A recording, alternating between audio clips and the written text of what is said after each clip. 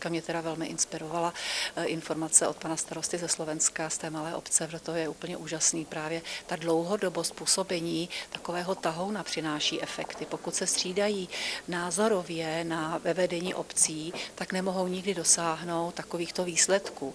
A proto i já jsem sice již 8 let eh, v té obci a také samozřejmě mám obavy z komunálních voleb na podzim, jestli skutečně se dokáže zase prosadit ta strategie, kterou jsme razili do posud a která přinášela ty výsledky, které zatím máme. Začali jsme, že jsme urobili firmu a začali jsme těch lidí zamestnávat a následně jsme ich začali ovplyvňovat, aby s tými peniazmi robili to, čo je pre ich životy výhodné.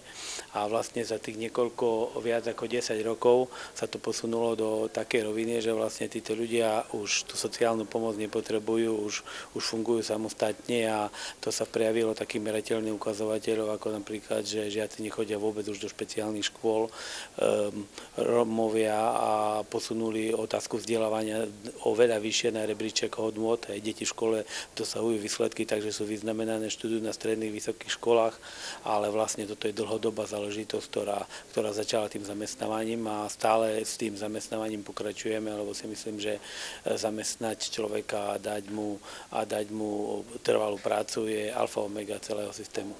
Stejným směrem v tom zaměstnávání jdeme i my, že už máme schváleno zřízení e, příspěvkové e, SROčka na, jako sociálního podniku, jako technických služeb a to je takový další článek do celého toho komplexu e, programu a projektů, které jsme e, již zrealizovali.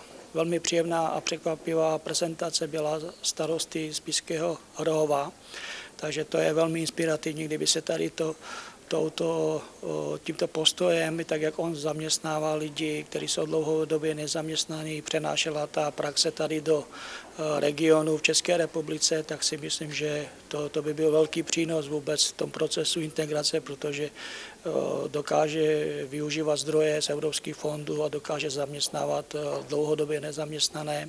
A to je to, co se nám v České republice moc nedaří ve spolupráci s agenturou pro sociální začlenování se pokoušíme prostě vytvářet pracovní místa, pokoušíme, pokoušíme se s tou věcí trošičku hnout dopředu. Oni nám přinesli know-how, který tam uh, zatím u nás teda nebylo. Přinesli nám určitý uh, postup prací, který bychom měli udělat. Uh, my jsme udělali lokální partnerství, kde jsou takové organiz, organizace, jako je Úřad práce, jako je sociálka, policie, jsou to státní orgány a pak jsou to občanský, eh, občanská združení, která teda taky provádějí sociální práci, takže se to všechno sjednotilo, všichni, eh, šli jsme všichni za jedním cílem a netřištili jsme síly. My máme stejné problémy, máme podobnú legislatívu, vlastne aj tí, aj tí Romovia, z pred niekoľkými rokmi z tých, z tých lokalít. Hej.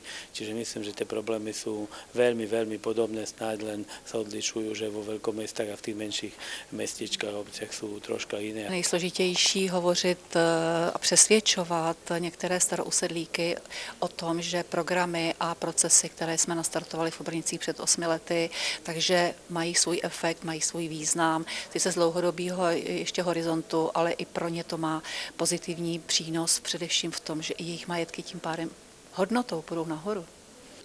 Funkce místo starosty je politická funkce a můj úkol je prostě prosazovat určité změny, které se týkají romského obyvatelstva v Ralsku, v zastupitelstvu a v radě. Takže myslím si, že více eh, Romů by mělo eh, se zapojit do politiky. My na Slovensku jsme viac menej aktivist, neaktivnější, ale aktivistickejší. To znamená, my ten, to prepojenie vlastne politikov, štátnych úradníkov a mimovládnych organizácií nemáme natoľko dobre zosieťované ako vy tu v Českej republike. A na druhej strane som si ale všimol, že celkové pozitívne, alebo teda preukazovanie nejakých pozitívnych príkladov dobrej praxe, či už pri sociálnej integrácii chudobných ľudí z romských komunít, či už na Slovensku alebo v Čechách je veľmi dôležité, pretože ten verejný diskurs je veľmi protiromský. Hlavný slovenský problém je, že príklady dobrej praxe sa nerealizujú v praxi, lebo strašne málo, keď, e, keď sa o nich hovorí.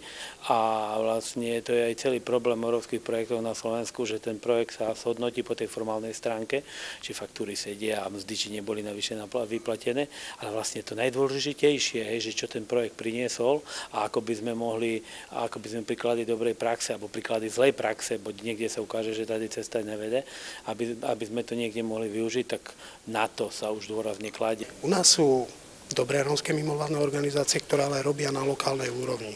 Nám naozaj chýbajú rómske mimovládky u nás, ktoré by robili tú advokačnú prácu, povedzme, ktoré by obajovali práva detí na vzdelávanie, povedzme, u politických elít, ktoré by o tom viac vstupovali do verejného diskurzu a ktoré by v podstate kampaňovali ten problém. Každý dobrý, dobrý projekt a dobrá praxe, která se odehrála či už na Slovensku nebo u nás v České republice, má velmi pozitivní dopady a ty starostové se mohou velmi pozitivně inspirovat a ty projekty realizovat i tady u nás. To sú ľudia, ktorí ľudia z praxe, sú to žiadne teoretické konštrukty, konštrukty a každý prichádza s, ne, s nejakou zajímavosťou, ktorá, kde si tak v duchu poviem wow teoretické přednášky, teoretické nějaké informace, tak ty jsou sice dobré, ale, ale pro ten praktický život někdy nepoužitelné.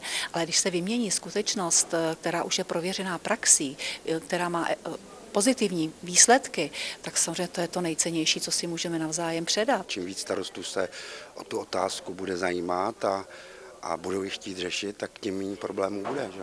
Ta samozpráva je, to je to první, kde se, kde se musí něco dělat.